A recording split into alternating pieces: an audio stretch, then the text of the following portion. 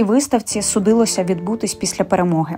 Роботи загиблого сержанта Володимира Чорного презентували у музеї мистецтв. Графік та художник-декоратор замінив пензлики та олівці на зброю, пішовши добровольцем до лав ЗСУ.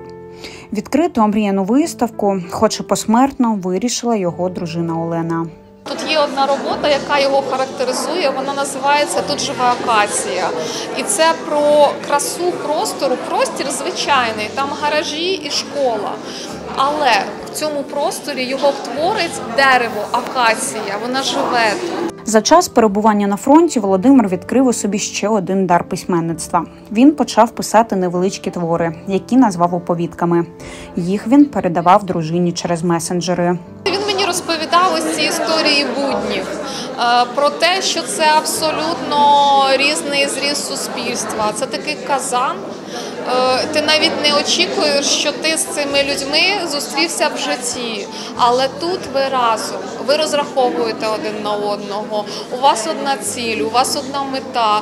Ви не спите один один. Ну тобто, ви не спите, е, ви не їсте нормально, ви виживаєте разом і ви підтримуєте один одного. І там дуже добре там е, цикл про людей, про те, що які б вони не були, там своїми якимись забобонами, своїми переконаннями, вони всі пішли нас захищати.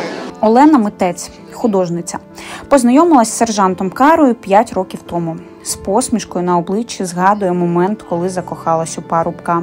Він ще й розписував, е, реставрував церкви, займався цим. І там в Києві є на, е, на почтовій площі така невеличка церква на набережні. Він якраз тоді її розписував. Ми домовилися зустрітися зверху коло Володимирського собору.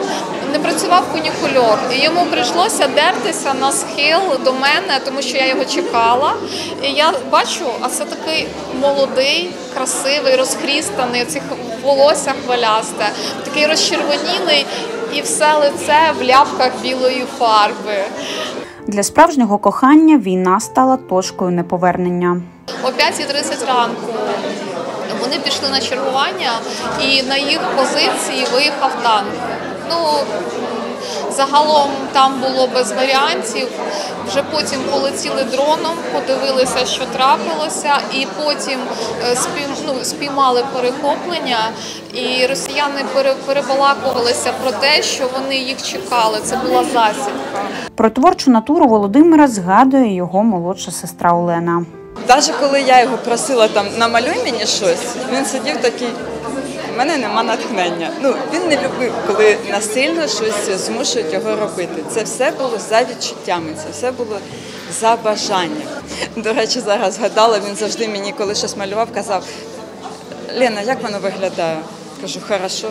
Лена, повинно бути класно, а не хорошо. Сержант Кара працював в одному з найскладніших стилів образотворчого мистецтва графіці. Його цікавили технічні нюанси, експерименти з друком, несподіване змішування фарб та витравлювання малюнків незвичного розміру. Роботи датовані 2005-2011 роками. Е, Вони е, з філософськими назвами, е, вони глибокі, метафоричні, вони з підтекстами. Володимир дуже гарно знав історію України, культуру України. Він був людиною глибоко енциклопедичними знаннями, наповнений. На виставці були представлені особисті речі Володимира. Увагу привертає маленький сушений бичок, а поруч з ним на полотні його точна копія. Розкрився смисл назви диво, тому що це таке побутове диво, коли звичайна рибка це красивий арт-об'єкт. Ну так, це таке бачення художника. Е, і ми його залишили, щоб можна було порівняти і можна було прослідкувати оце розкриття бачення. Робітники музею вражені рівнем професійності загиблого художника. До їх фондового зібрання дружина передала дві роботи митця. Такого гатунку виставку у нас відкрито вперше за 21 рік, сам 22 роки от існування саме як музею мистецтв. Тобто тут е, така оаза для студентів мистецьких факультетів, для шкіл, ті, хто цікавиться таким мистецтвом. Ну це дійсно.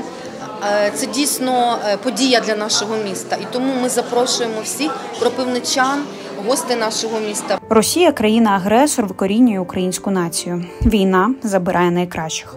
Доторкнутись до історії нашого полеглого земляка, розгледіти сенс у його гравюрах та почитати твори, що чіпляють за душу, можна у музеї мистецтв до кінця квітня.